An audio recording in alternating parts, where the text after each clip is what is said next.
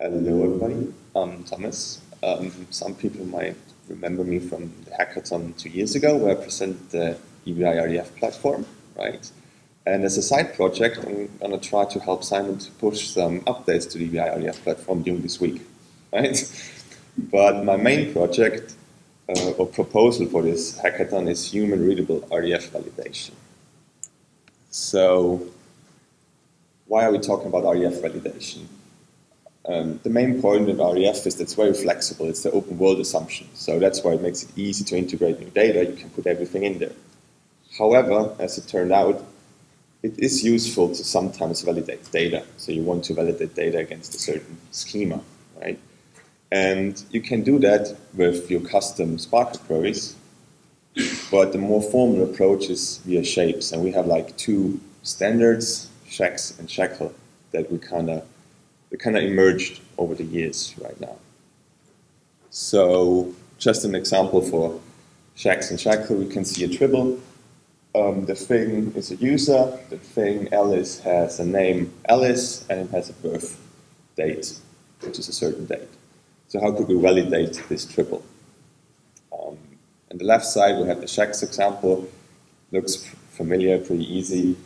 The user has a name, a birthday, date. And on the right side, there's the SHACL example, which basically tells us the same. It's actually a little bit more concrete because it defines a minimum and a maximum count and says we need exactly one name. So um, just a small example for what Shex and SHACL look like. What do I mean by human readable? Uh, or why was I inspired to use the term human readable? That has nothing to do with the semantic web.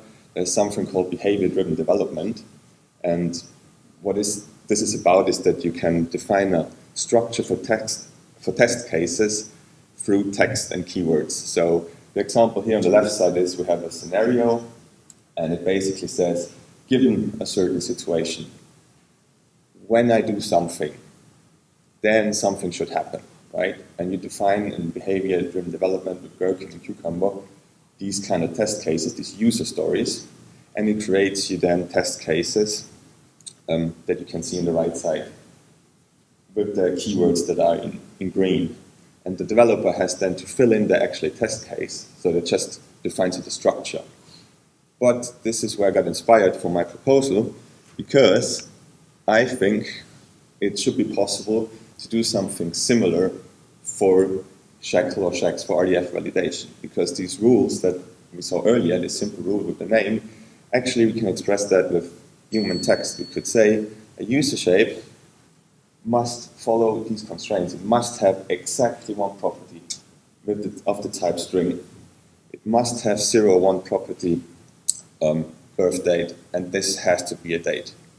And just the, the example earlier, I think there are keywords highlighted in green here that we could turn into valid uh, shapes and then validate RDF data like that. Why do I think this is useful? Because it's important to make RDF, SPARQL, SHACL accessible for users, right?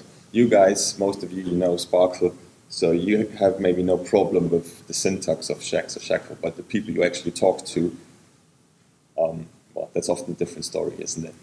And that's what I want to work on. And if you want to join my proposal and help me work on that, please talk to me. Thank you.